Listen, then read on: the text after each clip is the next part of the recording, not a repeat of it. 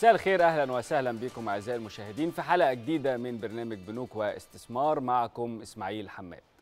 كل يوم عن يوم آه، بنتأكد إن قرار الإصلاح الاقتصادي اللي نفذته مصر في 2016 كان واحد من أهم القرارات في تاريخ مصر. وجود قيادة سياسية لها رؤية وحكومة بتتحرك بسرعة وبنك مركزي وجهاز مصرفي قوي عوامل رئيسية في نجاح الدولة وقدرتها على التعامل مع التحديات الاقتصادية آه، بكل ذكاء ونجاح. النهاردة بعد مرور حوالي أربع شهور من بداية أزمة كورونا الإصلاحات الاقتصادية أثبتت كفاءتها في مساندة الاقتصاد المصري في ظل التحديات الحالية وأثبتت كمان قدرتها على استمرار تدفق السلع الاستراتيجية لمصر واستقرار سوق الصرف وده أكبر دليل على أن احتياطي مصر آه، احتياطي مصر من النقد الأجنبي فعلا آه، وصل لمرحلة كان قادر على امتصاص الصدمات الناتجة عن التقلبات الخارجية. نروح لمبادرات كمان آه، أطلقتها الحكومة والبنك المركزي المصري بتوجيهات من سيادة الرئيس عبد الفتاح السيسي. كل يوم بتثبت لنا هي الأخرى إننا ماشيين على طريق صح. قرارات ومبادرات كل يوم للحفاظ على الاقتصاد المصري. هدفها تشجيع الإنتاج الإنتاج المحلي علشان نحافظ على البلد في ظل أزمة بتواجه العالم كله بيعاني منها دول كبيرة. من يومين اللجنة الاقتصادية الوزارية برئاسة الدكتور مصطفى مدبولي رئيس الوزراء وبحضور الأستاذ طارق عامر محافظ البنك المركزي المصري ووزير المالية أطلقوا ووزير المالية كمان أطلقوا آه، مبادرة لرفع الحجز الضريبي عن أي عميل آه، يسدد واحد في المية من أصل الضريبة. إحنا هنا بنتكلم عن مبادرات متتالية آه، يعني هدفها إنقاذ حوالي 24 مليون موظف من موظفي القطاع الخاص من البطالة. في وقت العالم بيواجه فيه أزمة كبيرة وملايين في أمريكا وأوروبا فقدوا وظائفهم الأسابيع القليلة اللي فاتت بسبب فيروس كورونا. مبادرة آه، رفع الحجز الضريبي دي بيستهدف آه، منها حوالي 126 ألف مستفيد بشكل مباشر ما بين شركات وأفراد ومنشآت. بنتكلم عن مبادرة سيتم رفع الحجز آه، عنها بقيمة آه، 65 مليار جنيه. المجموعة الوزارية بحثت أيضا إعفاء الممولين تماما من جميع غرامات التأخير السابقة والفوائد وهي مبالغ ضخمة جدا الحقيقة. المبادرة دي هترجع هترجع الحياة لمشروعات وأعمال ووظائف لناس كتير كانت خلاص وقفت وبتواجه مشاكل كبيرة. النهاردة هنتكلم في حلقتنا عن كل القضايا دي وكمان هنتكلم عن دور الجهاز المصرفي المصري في مساندة الاقتصاد المصري والدور اللي بيلعبه آه، واحد من أهم البنوك هو بنك مصر في السوق المحلية وده هيكون مع الأستاذ آه، عاكف آه، المغربي نائب رئيس مجلس إدارة آه، بنك مصر اللي بيشرفنا في الاستوديو النهاردة. أهلا وسهلا يا أستاذ عاكف. أهلا أستاذ إسماعيل. أستاذ عاكف يعني يمكن عندنا أحداث كثيرة ومتلاحقة على مدار الفترة الأخيرة ويمكن آه، المبادرات اللي بيطلقها البنك المركزي والحكومة تباعا آه، بتكون آه، سريعة جدا. ويمكن آخرها آه، الكلام عن آه، آه، رفع الحجز الضريبي عن العملاء آه، أو الممولين آه، آه، معنى رفع الحجز الضريبي إيه؟ وإيه القصة دي؟ يعني أساس القصة جاي منين؟ آه، أساس القصة إن آه، من حق مصلحة الضرائب إن هي آه، تبعت للبنوك إن هي بتحجز آه، ده حاجة قانونية إن هي تقدر تحجز على آه، الأشخاص اللي هم ما بيدفعوش سددوش الضرائب. الضرائب بتاعتهم فالقرار اللي اتخذ ده ده بيدل على كذا حاجة أول حاجة إن الدولة بتهتم جدا ب آه، ال- المواطنين والشركات بتاعتها آه،. سرعتهم في اتخاذ القرار آه،. والأهم من كل ده التناغم ما بين الجهات المختلفة جوه آه، ال- الحكومة ما بين آه، آه، ال- آه، الوزير المالية آه، معالي المحافظ آه، المجموعة الاقتصادية ككل في تناغم ما بينهم آه، وخدوا هذا القرار الأول كان آه، تم تخفيض النسبة التي المفروض إن هي تتسدد ل 5% وبعدين صدر هذا القرار إن هي تبقى 1%. تبقى 1% آه بالظبط طب يعني يعني 1% ادينا مثال يعني لو واحد يعني. عليه ضريبة 100000 جنيه آه، لو. دفع 1000 جنيه النهارده أيوة. الحجز الضريبي عليه على أمواله في البنوك أو على أموال شركته قدر بيتم يتشال. رفعه خلاص. آه يتم رفعه وبالتالي يقدر إن هو ياخد الفلوس دي النهارده ويتعامل يتعامل بقى مم. مع الموردين آه، يدفع المرتبات بتاعته آه، يشتري سلعه ويبتدي يتاجر فيها يبتدي يتحرك. فلما هو يتحرك يبتدي السوق يتحرك بصورة أفضل. مم. فهي كانت آه، يعني خطوة مهمة ومعناها إن إن العبء بتاع الضريبة ده اتنقل على الدولة. الدولة بتقول لك أنا هشيل عنك العبء ده آه، لغاية للفترة دي. يعني مش لازم تدفعوا لي دلوقتي أنا هستنى لغاية ما أنت وهنرفع عنك الحجز. هل الحجز ده بي. بيحط ال ال صاحب الشركة أو المصنع أو الفرد في مشكلة في التعامل مع موردين أو مع بنوك أخرى أو مع يعني بيقف تماما. طبعا لأن فلوسه حتى الفلوس اللي عنده السيولة دي بتتخنق جوه البنك وما يعرفش يتعامل مع فلوسه اللي في. البنك. فدي بتفتح له طبعا إن هو يقدر يتحرك ويشتغل تاني وينتج تاني ويحافظ على العمالة بتاعته.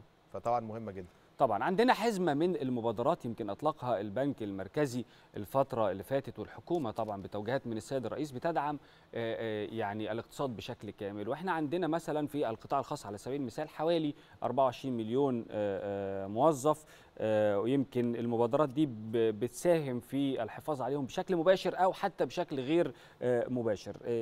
مجتمع هذه م- يعني مجموع هذه المبادرات والإجراءات من وجهة نظرك كده متكاملة مع بعض إزاي بتحافظ على العمالة؟ إحنا بنشوف في أمريكا وأوروبا كل يوم بنسمع عن مزيد من فقد آه، الوظائف. إزاي ده في السوق المصري في ظل أزمة كورونا زي آه، كورونا آه، بتحافظ على استقرار السوق؟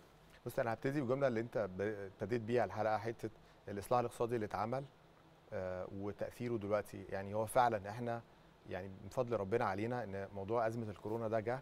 بعد ما كنا حققنا إنجازات في الإصلاح الاقتصادي. آه، الإصلاح الاقتصادي ده أنا بشبهه دلوقتي يعني بما إن أنا في موضوع الكورونا ده بشبهه بالمناعة. آه، كل ما بتزود مناعتك كل ما بتقدر أنت تس- تتحمل آه، المرض أو الفيروسات أو كده صحيح فإحنا ال- الفترة اللي فاتت تم آه، أخذ العديد من الإجراءات اللي خلت الحكومة عندها قوة إن هي تقدر تقف على رجلها وتواجه ال- ال- ال- المشاكل اللي إحنا بنواجهها النهارده. اللي هي في دول كتيرة مش قادرة تواجهها. إحنا شايفين دول العملة بتاعتها بتنهار. آه، شايفين اقتصادات عندها آه، دول مش قادرة تسدد آه، القروض بتاعتها. مصر الحمد لله قدرت إن هي تسدد القروض بتاعتها بانتظام شديد السنة دي. الحمد لله العملة ما زالت متماسكة بصورة كبيرة. صحيح الاحتياطات نزلت خلال الشهرين اللي فاتت بس ما هي كانت موجودة ليه ما هي الاحتياطات اتبنت لمواجهة الأزمات لمواجهة صحيح. الأزمات اللي إحنا آه، يعني اصبح. أصبح عندنا احتياطي نواجه بيه أزمة يعني قبل كده. كان أرصدة الاحتياطي كانت متدنية جدا وكان علينا آه، ديون خارجية عاجلة كبيرة لكن بالظبط. بعد الاصلاح الاقتصادي تم إعادة هيكلة هذه المسألة وهنا سؤال مهم جدا يا أستاذ عاكف آه، من وجهة نظر حضرتك إحنا أصبح عندنا احتياطي نقدي قوي آه، بن- بنواجه بيه الأزمات.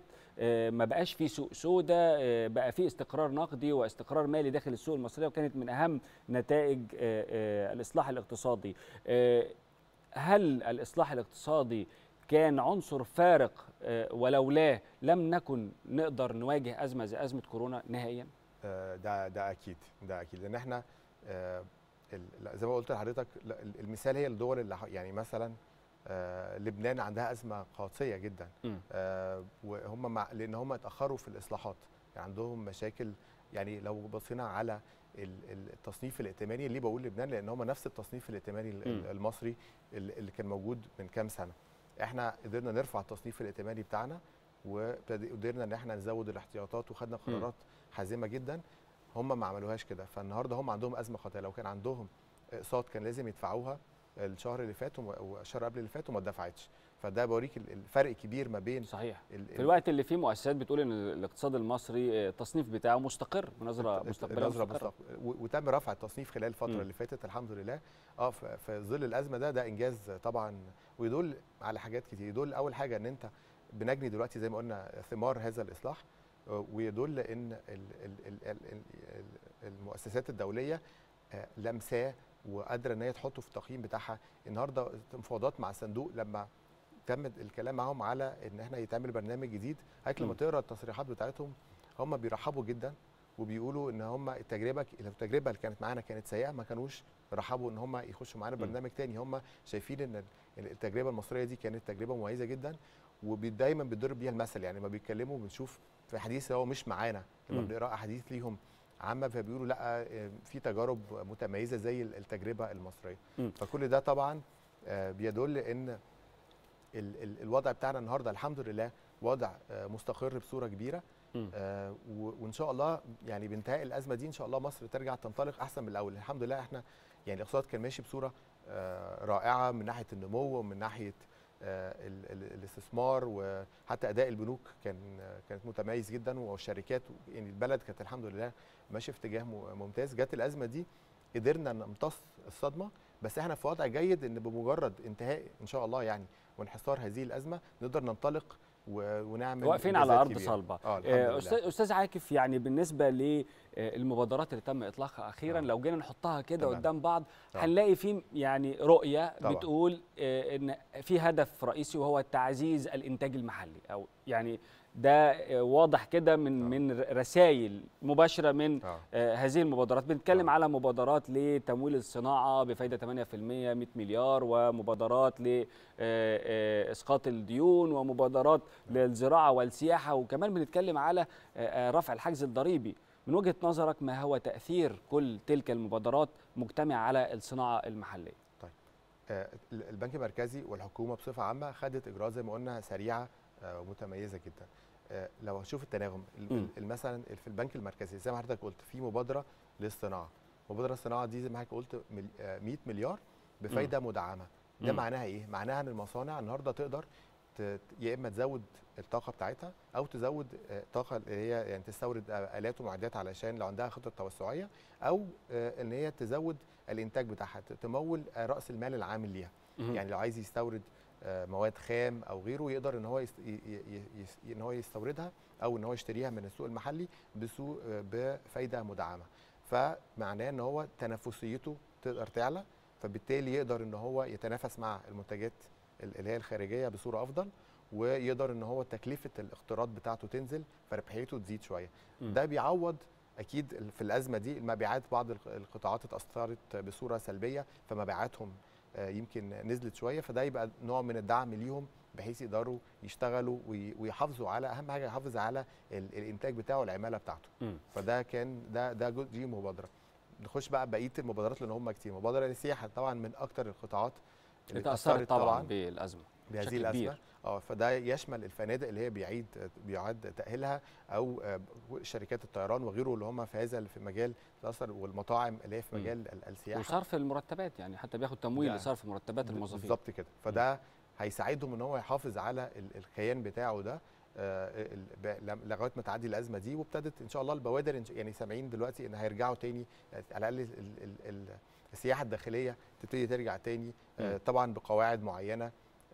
فده إن شاء الله هي يعديهم بس الفترة دي لغاية ما تبتدي السياحة الداخلية تشتغل ويبتدي عندهم دخل. مم. فهي مجموعة كبيرة من المبادرات لو اتكلمنا على العملاء المتعثرين دي كانت من قبل أزمة الكورونا. صحيح. وبين لك اهتمام برضو الدولة بالصناعة حتى من قبل الأزمة دي. آه، برضو إن العملاء تقدر تيجي وبعدين اتمدد بقت للافراد كمان يقدر إن هو يسدد آه، آه، جزء نص المديونية بتاعته ويتشال من على القوائم ال- السلبية. صحيح. آه، الأفراد نفس الكلام اللي هي المبادرة إن هو يتشالوا من على القوائم ال- السلبية من البنوك. م. كل ده بيشجعهم إن هو يقدر تاني يخش تاني في قطاع البنوك يقدر يستلف ويقدر إن هو آه، يشتري. لو يقدر هو يحصل فرد. على سيولة أو حتى بتوفر له سيولة من خلال المبادرات التمويل إنه يقدر يشتغل. آه. آه، أستاذ عاكف يعني آه، آه، الخط الواضح الرئيسي هو دعم الإنتاج المحلي من هذه المبادرات. هضيف عليه دعم الإنتاج وتيسير على المواطن. يعني برضو صحة المواطن كانت يعني من أهم الحاجات اللي كانت الدولة مهتمية بيها والبنك المركزي مهتم بيها مم. لو بصينا آه، اتبعتت مثلا للبنوك مجموعة من ال- القرارات كان واحدة منهم إزاي أنت تهتم بصحه الموظفين جوه البنك مم. آه، تخ- تخفيف العمالة صحيح آه، تطهير الفروع آه، آه، إن أنت تقلل عدد ال- ال- المتعاملين مع البنك تقليل عدد الساعات كل دي إجراءات الهدف إنها هي حفاظ على المواطنين ودي أولوية كبيرة جدا عليهم صحيح هنضيف جنبها آه، زي ما قلت التيسير عليهم فجت حزمة كبيرة قوي من المدفوعات الإلكترونية آه، دفعها يعني آه، كان ال- المحفظة اللي هي البنكية اللي هي على ال- الموبايل تقدر اترفعت كنا بنتكلم في بتاعتها. 3000 جنيه وأكتر أو حاجة بسيطة يعني النهارده آه. بنتكلم في تحويلات لحد آه، لغايه 100000 100,000 جنيه, جنيه. لل- للفرد و200000 جنيه لل- للشخصيات الاعتبارية اللي هي الشركات آه، بقى يقدر ان انت مش لازم تروح الفرع عشان تسجل نفسك في هذه. الخدمة تقدر ان انت آه، تنفذها من آه، من يعني من يا إما كل بنك يقدر يتع... البنك المركزي فتح لكل بنك إن هو يقدر يتحقق منها بالوسائل اللي هو بيتحقق منها من العميل مثلا لو في رقم اللي هو التعريف آه، البيانات اللي عنده في البنك آه، يعني فكرة. تسهيل الإجراءات على آه. العميل إنه يوصل للخدمات الالكترونيه يعني هنتكلم. عن اتكلمنا عن دور الحكومة ومبادرات البنك المركزي لكن في دور مهم جدا هو دور القطاع الخاص نفسه والشركات هن- هنعرف من حضرتك آه، وجهة نظرك في هذه المسألة بعد فاصل قصير أعزائي المشاهدين ابقوا معنا.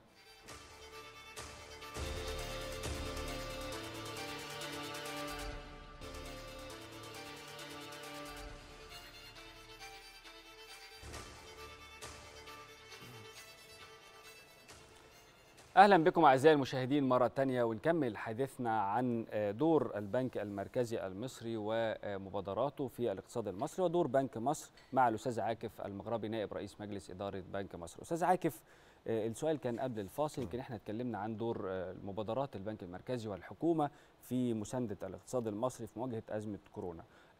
يعني القطاع الخاص أكيد عليه دور هو أيضا. طبعا. البنوك بتوفر التمويل المبادرات موجودة المساعدات من كل جانب. ال- القطاع الخاص آه، يعني مطلوب منه إيه في الوقت الحالي؟ يعني أعتقد أهم حاجة آه، أنت في الأزمة دايما في وقت الأزمة إن أنت تحاول دايما إن أنت إزاي تعمل استراتيجية تخليك تقدر تعدي هذه الأزمة بصورة آه، يعني تخ- انت واقف على رجليك يعني تعديها ب ف وإن أنت تدور في الأزمة دايما على الفرص. يعني هدي حضرتك آه، مثال آه، ففي في قطاعات كتيرة اتأثرت بصورة كبيرة بس في قطاعات استفادت. آه، إحنا في في حاجة اسمها رواد النيل دي مبادرة البنك المركزي. امم ومجموعة بنوك بت بت بتساهم فيها إحنا من أحد البنوك اللي بنساهم فيها. صحيح. آه، من ضمن الحاجات إحنا بنتولى design house جوه ال- ال- اللي هي رواد النيل اللي هو مركز التصميم. مركز التصميم ده بنساعد لغاية يعني بنساعد حوالي لغاية دلوقتي حوالي 70 شركة في مركز التصميم ده على إزاي يصمم المنتج بتاعه يا إما مثلا منتج آه، مستورد وإزاي نقدر نعمله آه، محليا أو يطور من المنتج بتاعه.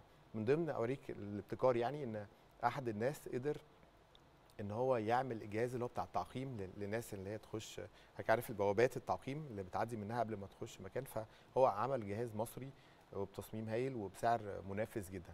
فبقول في فرص يعني إن دايما ما نبصش على الأزمة وإزاي آه، أثرت فيا بصورة سلبية لو لو ابتكرت تقدر إن أنت تطلع آه، فرص ده لا يسري طبعا على كل الشركات وكل القطاعات بس بعض.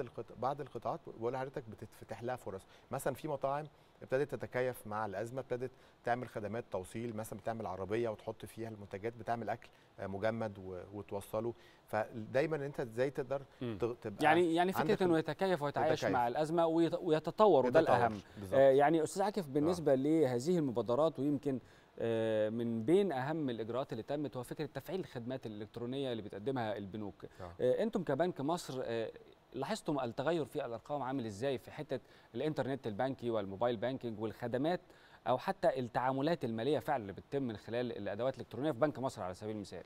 آه يعني لو هنتكلم على على نقطة ال- ال- الإيجابيات يعني كل أزمة بيبقى ليها إيجابيات ده من ضمن الإيجابيات. آه، خلال الفترة دي آه، تم تركيز جدا على المعاملات ال- اللي هي الإلكترونية. البنك المركزي زي ما قلت لحضرتك دعم بتبسيط الإجراءات إن أنت تقدر تشترك فيها. فاحنا أول أول بنك ينزل حاجة اسمها ال web form يعني على على الصفحة بتاعة البنك بتاعنا. آه، تقدر حضرتك- كنت قدرنا إن إحنا ننزل خدمة إن حضرتك تشترك في الإنترنت وال mobile banking والمحفظة الإلكترونية آه، بإجراءات بسيطة جدا. آه، فالناس لقينا نمو كبير جدا في عدد ال- ال- المشتركين. يعني بعض الأرقام. آه. يعني خلال الشهرين اللي فات عدد المشتركين في الإنترنت والموبايل بانكينج بتاعنا زاد بنسبة 53% مم. بس ده بسبب الأزمة. وبسبب تبسيط الإجراءات بتاعتها وبسبب ال ال ال- الحملات الدعائية اللي عملناها علشان نبعد الناس عن ال- إن هي تيجي الفرع لأن. طبعا وجودهم في الفرع خطر عليهم وخطر على الموظفين بتاعنا صحيح. مثلا خلق عملنا آه، وسائل جديدة يقدروا العملاء تتعامل بيها شهادة ل 15% مثلا طبعا عملت كنا متخوفين جدا جدا من الضغط اللي هتعمله على الفروع بتاعتنا في أول نزول ال- الشهادة فعملنا إن الناس ممكن مش لازم تبقى عميل البنك حتى عشان تشتريها تقدر إن أنت تش- تعمل تحويل بنكي بال- بالفلوس دي على رقم حساب معين. تقدر إن أنت تشتري الشهاده وبس بتحط في- مع التحويل تفاصيل رقم الاسم والموبايل عدد و- التعاملات الأرقام فيها كانت مثلا؟ الشهادات مليار. ونص مثلا آه لا أنا آسف أكتر أنا آسف مليار ونص أنا آسف دي جت من ال ATM يعني خلينا. الناس تقدر من على ال ATM تشتري الشهادة من إجمالي مشتريات دلوقتي شهادات بمليار ونص من مليار. ونص من ماكينه ال ATM مم. فمن التحويلات كان يمكن حوالي يمكن 30% من حجم أو أو 20% من حجم التعاملات ال- الشهادة اللي إحنا عملناها إحنا وصلنا حوالي دي دلوقتي تحويلات حوالي 40 مليار آه مظبوط آه. فبتخلق لما بتخلق بالنسبة للناس وسائل إلكترونية بتساعدهم إن هم آه، ما يروحش الفرع. ما يتعي يعني ما يتعديش ما يقفش في طابور صحيح. فبتيسر لا عليه وأسهل يعني إيه اللي هيخليني أروح أضرب مشوار وتكلفة ووقت ضايع؟ حضرتك يمكن لي يتعود على الخدمة وده مهم جدا. ده اللي بقوله ده اللي يمكن إن شاء الله بنشايفينه من مميزات يعني من ال- الحاجات الإيجابية اللي حصلت في هذه الأزمة. إن ابتدت الناس تتعود عليها بدل. الناس اللي كان يقول لك لا أنا أعمل تحويل ليه من موبايلي أنا أروح الفرع وأمضي وأتأكد بنفسي لا خلاص مع ال- ال- الحاجة بتاعته إن هو ما يروحش الفرع ابتدى إن هو مم. يجرب الخدمة ويلاقيها سهلة ومضمونة ومؤمنة فبيقدر إن هو يتعامل عليه صحيح. يعني حجم مثلا التعاملات اللي شفناها على الإنترنت برضو في الشهرين دول زادت بنسبة 100 130% 130% آه. في حجم التعاملات ولا على الإنترنت عدد والموبايل بانك العمليات آه بالظبط عدد العمليات ولا لا حجم لا, لا التعاملات الحجم حجم آه التعاملات آه. طيب آه، حضرتك بالنسبة للمبادرات الأخرى اللي أطلقها البنك آه. المركزي ويمكن فكرة تمويل المصانع كان في مبادرة ب 100 مليار جنيه آه، بفايدة 8% للقطاع الصناعي وده يمكن دخل ضمنها القطاع الزراعي ومؤخرا النهارده النهارده المقاولات. القطاع المقاولات. آه، يعني بنك مصر آه، استحوذ على كام في المية يعني؟ تقريبا خدنا الأرقام؟ 35% يعني عندنا 35 مليار دول اللي بيتم ضخهم لعملاء عندنا في تحت هذه المبادرة تحت مبادرة ال 100 مليار 100 مليار مم. مبادرة السياحة آه، عشان حضرتك عارف إن مش كله بيعمل في في الأزمة مش كله آه، صحيح بيعمل تو... يعني طلب تطوير وكده آه. فبقى عملنا حوالي مليار مليار و100 مم. آه بس دول دول بنك آه، مصر آه، بنك مصر، بس آه. طيب آه، بالنسبة لدخول قطاع مهم وهو القطاع آه، العقاري في أو التطوير العقاري في آه، آه، المقاولين أنا آسف آه. في آه، مبادرة آه، المبادرة الموجهة للصراع 8% وجهة آه. نظر حضرتك إيه في هذا التحديث المستمر لهذه المبادرة تحديدا؟ لا ده ده كان برضو مهم جدا لأن قطاع ال- المقاولات ده آه، أول حاجة كثيف العمالة بصورة كبيرة جدا وبالذات ال- العمالة اللي هي اللي قلنا اليومية اللي هي آه، ما عندهاش آه، دخل ثابت. فطبعا بيتأثروا بصورة كبيرة جدا لما بت- بتقل حر- حركة قطاع المقاولات.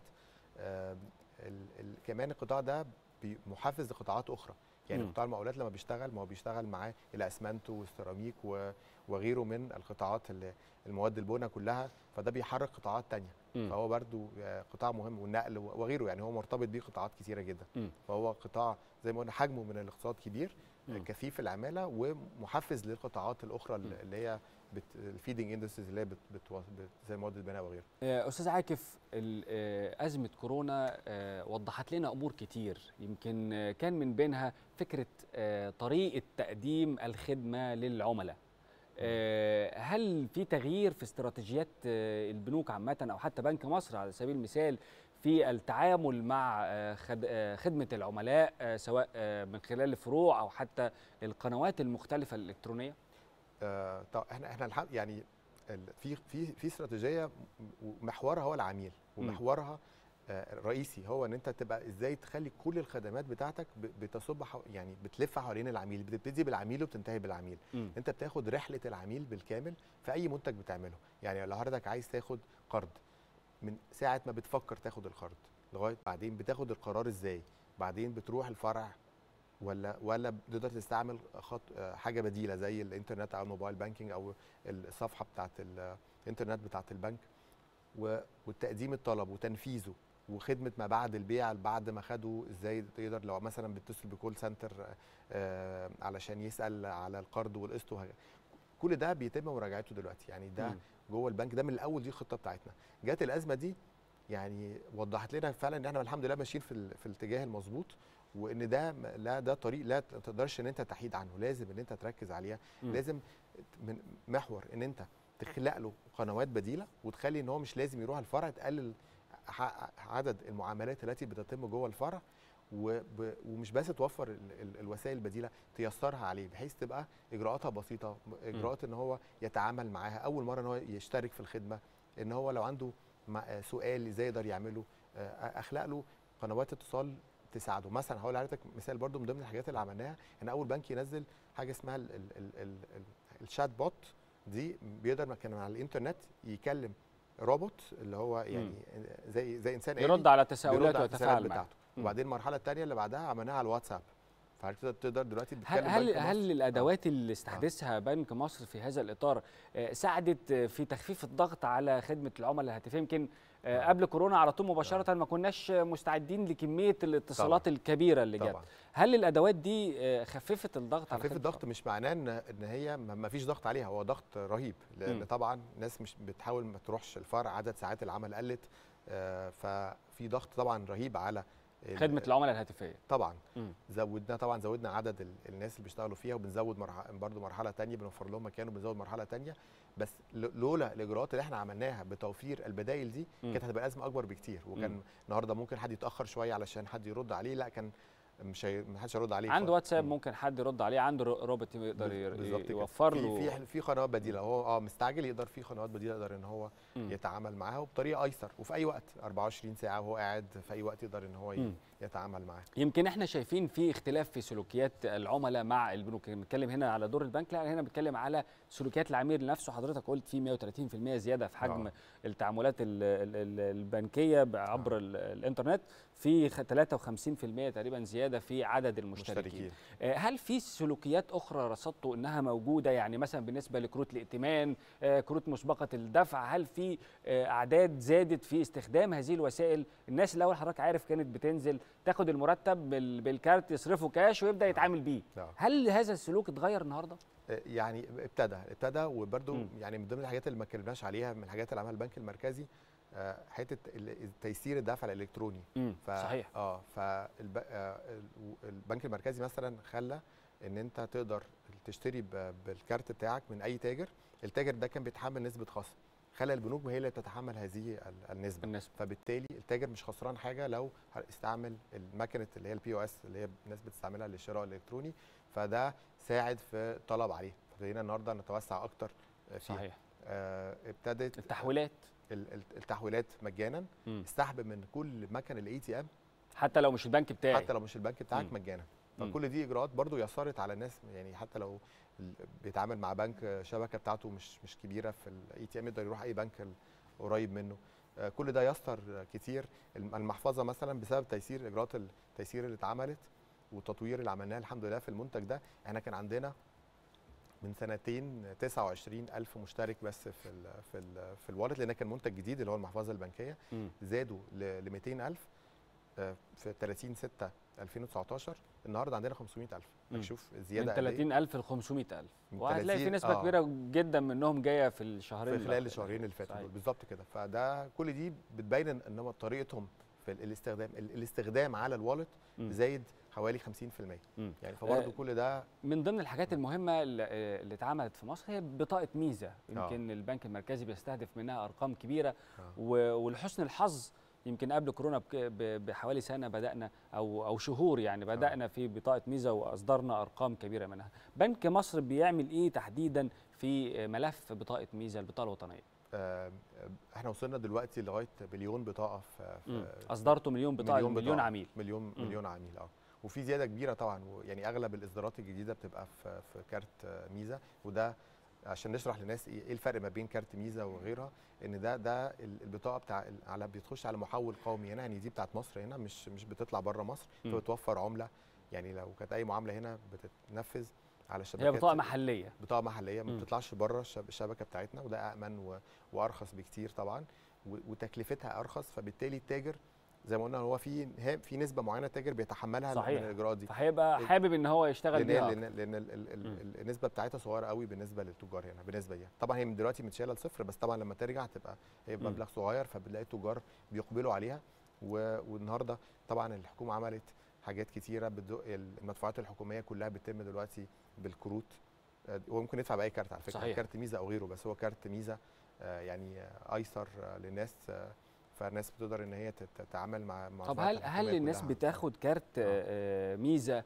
ال- المليون بطاقة اللي أصدرها بنك مصر آه. كلها شغالة و active آه. آه، بشكل مستمر ولا آه. بيستخدمها في حاجة معينة وشكرا لا هي البداية كانت ان هو الأول يبقى معاه البطاقة مم. وبعدين إن هو يستعملها ومجرد ما بيستعملها وبالذات دلوقتي مع أزمة الكورونا طبعا بقى, بقى امن لك ألف مرة ليه أروح واقف أروح يا إما البنك واخد كاش من من فرد أو من آخر. ال A آه. TM. وبرضه ال ATM في ناس كتيرة بتستعملها يعني. مهما إحنا بنحط على قد ما نقدر في الفروع بنحط آه، مطهرات جنب المكنة بحيث الراجل بعد العميل بعد ما يتعامل يقدر إن هو يطهر إيده كده بس برضه ليه وفي في الشارع ما النهايه هو كاش وبيتم تداوله بيتم طبعا تداوله فدي صحيح. امن بكتير فبرضه شايفين زيادة كبيرة ومع تخفيف تخفيف قلنا أو أو إلغاء ال- ال- العمولة اللي على التجار مم. لا في زيادة كبيرة في الاستعمال مم. فكل ده بي يعني حماية للمواطن وتي- وتيسير عليه وده. إن شاء الله بعد نهاية الأزمة هيبقى فيه اكتسب عادة. إن هو في ناس بقت فاهمة إن الكاش ده آه لأ ممكن ينقل آه أي أمراض ممكن إن هو ليه أقف في ATM أفضل واقف في طابور طويل عشان أسحب فلوس وأنا أقدر إن أنا أتعامل على طول يعني كنا بنشوف في آه، في مولات أو في مثلا سوبر ماركت ناس بتسحب كاش وتروح تشتري كاش طب ما انت جوه في مكنة صحيح صحيح. فالعادات دي بتتغير يعني. طيب آه، يعني أستاذ عاكف بالنسبة للشمول المالي يعني يمكن قبل ما نطلع فاصل عايز أسأل حضرتك سؤال خاص بالشمول المالي. الدور بالإضافة لكل الحاجات اللي اتكلمنا فيها آه. لأن دي حاجات أساس ال- التحول الإلكتروني من من عناصر الشمول المالي. إيه تاني بيعمله بنك مصر لتحقيق الشمول المالي؟ يعني على آه، مستوى الفروع على آه. مستوى التوعية والثقافة للعملاء حاجات كتير يعني. طبعا طبعا يعني آه، هبتدي بس عشان آه، برضو ندي البنك المركزي حقه في موضوع الشمول المالي هو البنك المركزي مهتم جدا بهذا الموضوع لدرجة إن هو يعني بعت طلب من البنوك إن هي تنشئ إدارة متخصصة في الشمول المالي مم. وفعلا إحنا أنشأنا الإدارة وعيننا آه، رئيسه قطاع عندنا دكتورة سوزان شخصية يعني عندها خبرة كبيرة إن. هي تقدر تمسك هذا ال- القطاع ده وهي بتحب ال- القطاع ده ف يعني من أول ال- ال- الطفل الصغير إحنا بنروح مدارس وبنعلمهم يعني إيه شمول مالي يعني إيه معاملة بنكية يعني إيه كارت. بن- بن- بنحاول نساعد إن في جيل جديد يبقى متفهم من المساله التوعيه فده بداية ال- ده. جزء منها. الفروع إحنا النهارده الحمد لله عندنا أكبر شبكة فروع في البنوك التجارية ونتوسع فيها. السنة اللي فاتت فتحنا 34 فرع السنة المالية اللي فاتت. وصلنا لكام بقى بعد بنهاية السنة المالية؟ إحنا يعني بدايه السنة المالية كان عندنا 600 و- وحاجة و50 و54 فرع. دلوقتي إحنا آه تقريبا وصلنا 700 فرع. يعني إحنا. من ساعة نهاية السنة المالية لغاية دلوقتي آه فاتحين آه كمية حوالي 50 فرع. فبنتوسع بصورة كبيرة في الفروع دي. ليه؟ عايزين نوصل للناس في الأماكن النائية في المحافظات في الأقاليم. وجود الفرع بي بيساعد في إن هو يبقى يتفهم يعني إيه منتجات بنكية ويبتدي يتعامل معاها. جزء تاني الشركات المتناهية الصغيرة ومتوسطه ومتناهية الصغر. مم. الحمد لله حصل عندنا نمو هايل عندنا تمام. قصه نجاح عندنا هن- هنتكلم. هنتكلم أكتر آه. في تفصيل آه. آه، آه، تجزئة المصرفية والمشروعات الصغيرة والمتوسطة وباقي آه، أركان ميزانية بنك مصر ونتائج أعماله أنتوا عاملين نتائج أعمال ما شاء الله يعني لله. السنة المالية اللي فاتت آه، هايلة آه،. نتكلم فيها بعد فاصل قصير أستاذ عاكف المغربي آه، بيتكلم معانا عن دور بنك مصر في آه، دعم الاقتصاد وتقديم خدمات مصرفية للمواطنين ابقوا معنا أعزائي المشاهدين نواصل حديثنا بعد الفاصل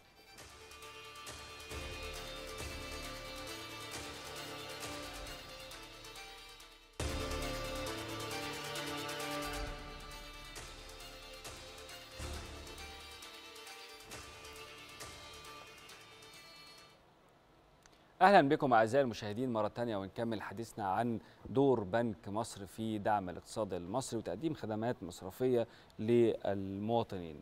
آه، أستاذ عاكف آه، اتكلمنا يعني حضرتك كنت عايز تتكلم على مسألة ال- المشروعات الصغيرة والمتوسطة ودور بنك مصر في هذا القطاع المهم البنك المركزي كان فيه مبادرة ب 200 مليار بنتكلم في آه، آه، تعليمات ب 20% من إجمالي التمويل يروح لهذه الشريحة المهمة من المشروعات. بنك مصر عمل إيه في هذا الملف؟ آه الحمد لله ربنا يعني كان موافقنا جدا في الملف ده. يعني في 2016 كان إجمالي المحفظة بتاعتنا في شركات ال- 30 6 2016 امم آه، كان 2 مليار و800 امم آه، حصل تطوير جامد لهذا القطاع. ودعم ليه كبير ويعني حزة من القرارات خدناها ده إن آه، آه، يعني خلينا مثلا فروع تبقى عندها صلاحيات أكبر وغيره وتدريب و ونزلنا برامج جديدة وحاجات زي كده فقدرنا ننمو بصورة الحمد لله مضطرده الحمد لله طلعنا ال 2 مليار 800 وصلنا 4 مليار بعدين ال 4 مليار بقوا في السنة اللي بعدها اللي بعدها بقوا 10 مليار 10 مليار السنة اللي بعدها وصلنا 23 مليار. دلوقتي آه، السنة المالية اللي فاتت اللي هي في 30 6 اللي فاتت 30 6 مم. آه آه وصلنا آه كان 23 دلوقتي إحنا في حوالي 30 مليار الحمد لله. في في الملف ده فالنمو الحمد لله سريع ومحافظين على جودة المحفظة ودي كانت يعني وال والحصة يعني وفقا لتعليمات البنك المركزي محقق نفس 23% كان المفروض نوصل 20% يعني أنت تخطيت المطلوب. تخطينا آه نسبة الحمد لله آه بفضل ربنا يعني الحمد لله. وده آه يمكن يمكن المشروع و... يمكن المشروعات الصغيرة والمتوسطة آه لا تغني عن المشروعات الكبيرة.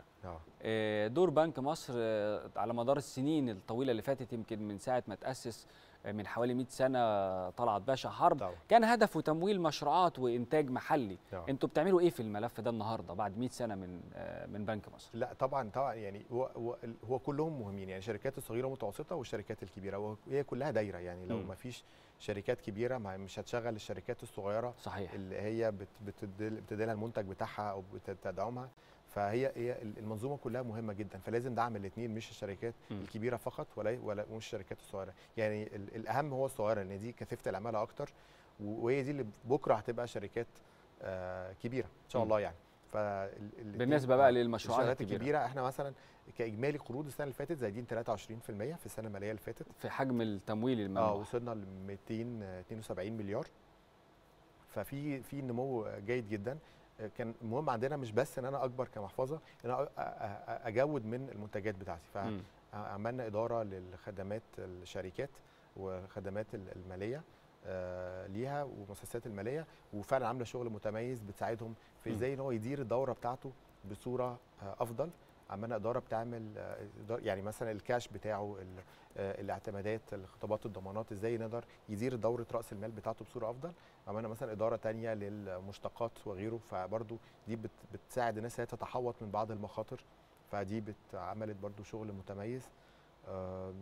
فالغرض إن أنا أدي للعميل عملنا خدمة عملاء الشركات جوه الفرع بتاعتنا علشان جوه الفرع يبقى الناس دي متخصصة في خدمة عملاء الشركات. فاهم منتجاتهم فاهم يعني إيه اعتمادات بصورة أفضل من الشخص اللي هو كان في الأول موجود هو كان في ناس بتقوم هذه المهمة بس كان بيعمل هذه المهمة للشركات والأفراد فعملناها تخصصيه أفضل بتدريب م. أفضل فقدرت إن هي تسرع الإجراءات بتاعتها بصورة أفضل وتأدي خدمة التجزئة المصرفية آه. ده دي الخدمات اللي بيقدمها آه. البنك للعملاء الأفراد النهارده حجم محفظة التجزئة المصرفية والتمويلات الممنوحة للافراد قد إيه وودائعهم كمان من ناحية ثانية آه. إحنا التجزئة الحمد لله ماشية بصورة متميزة جدا.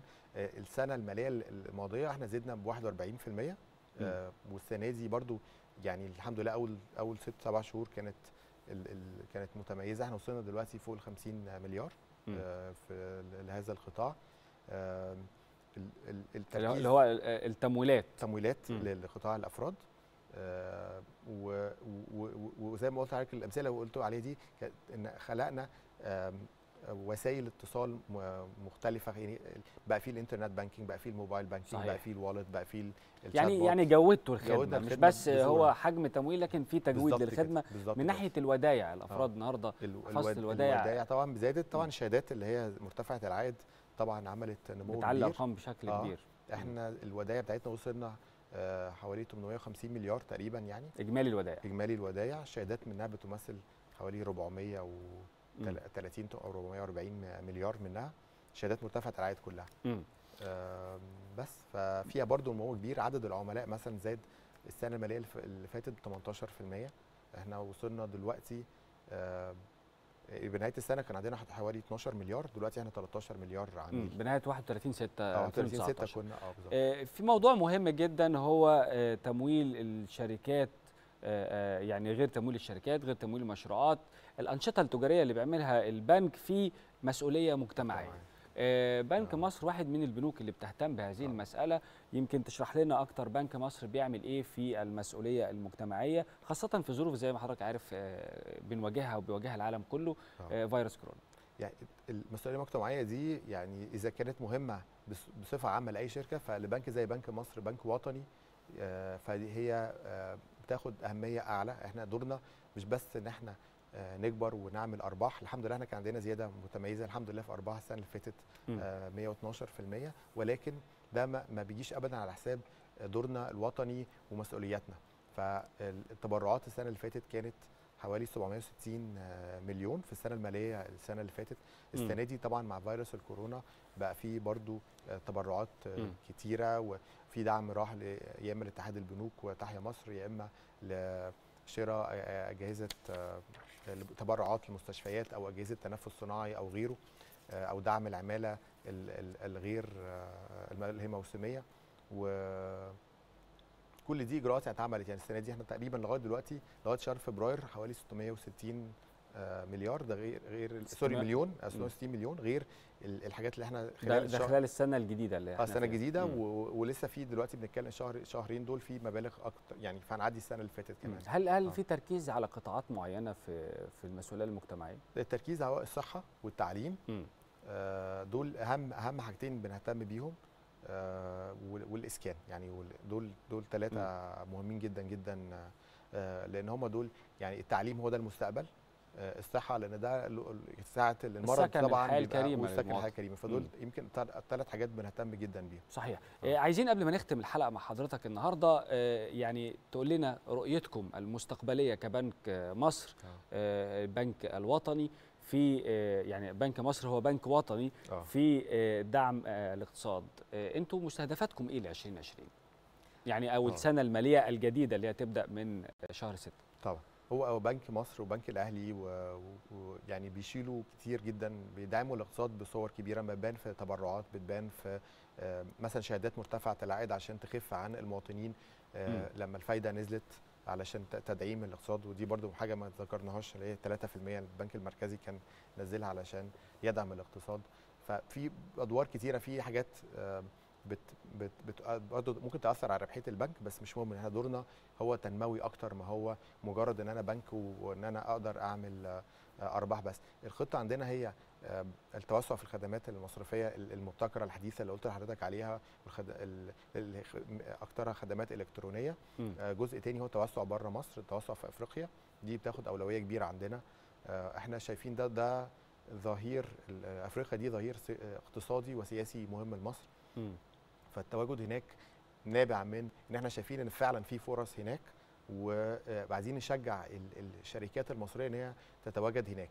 يا إما شركات مثلا في مجال المقاولات أو في مجال ال- التصدير أي شركات صغيرة هنا عايزة تصدر فده أقرب سوق ليك فبنساعدهم بالتواجد بتاعنا هناك بإن أنا بفتح مش بس إن أنا لازم يكون عندي فرع هناك لا إحنا كمان بيبقى عندي حدود ائتمانية مع المؤسسات المالية اللي موجودة مم. هناك فعشان أقدر أساعدهم على التصدير بتاعهم أقدر أفهم السوق آه، أفهم احتياجاته إحنا بنفتح دلوقتي فرع في في الصومال وده يعني لولا الكورونا كان زماننا فتحناه بس هو يعني تقريبا جاهز يعني فاضل بس نبعت ال- الزملاء هناك مم. آه، بنفتح في كينيا بنفتح في آه، كوت ديفوار ده دي فروع جديدة. فروع أو. مكاتب تمثيل وده خطة السنة دي السنة الجاية برضه فيها إن شاء الله إن شاء الله. إن شاء الله. أستاذ عاكف أنا بشكرك شكرا جزيلا على تشريفك لنا النهارده والمعلومات القيمة اللي أضفتها لنا بشكر حضرتك على الاستضافة. شكرا جدا أعزائي المشاهدين إلى هنا تنتهي حلقتنا من برنامج بنوك واستثمار النهارده ونشوفكم الأسبوع القادم في حلقة جديدة من البرنامج في نفس الموعد. أشوفكم على خير إن شاء الله. إلى اللقاء.